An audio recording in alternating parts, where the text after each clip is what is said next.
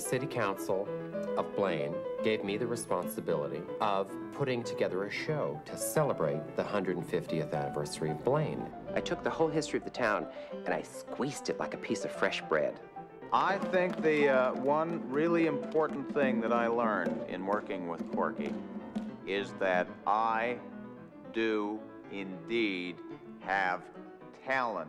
My booby made a kishka. She made it big and fat. My Zeta took one look at it and said, I can't eat that. I have found here in Blaine a gold mine of talent.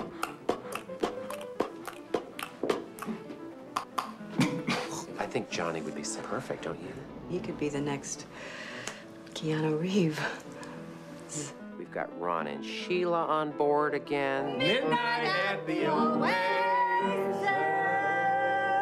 Newcomer Alan Pearl. I have a very lazy eye, which these uh, prescription glasses help. Libby. I've been working here at the DQ for about, um,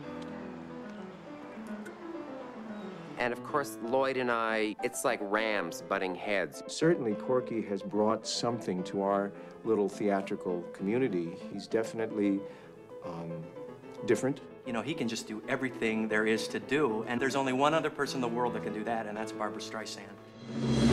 I have a little announcement to make. Mort Guffman is going to come from New York City and see our show. We have one shot at this. We've got one performance. With Mort Guffman coming to town, we need to hitch up our panties and run.